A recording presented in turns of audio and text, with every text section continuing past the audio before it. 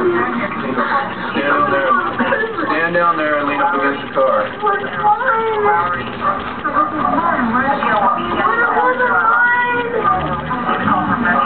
You know, I'm damn. You want this one, girl? Yeah, you.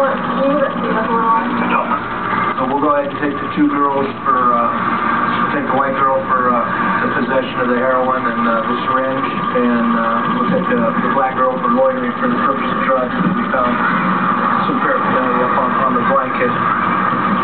work out good. They, they'll see the judge in the morning, let them know what they got.